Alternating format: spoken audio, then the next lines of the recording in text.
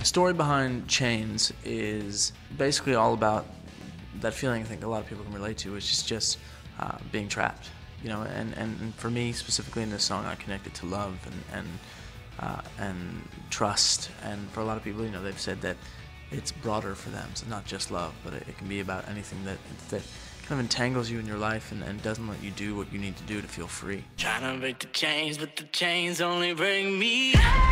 It really has become, I feel like, a staple for this record.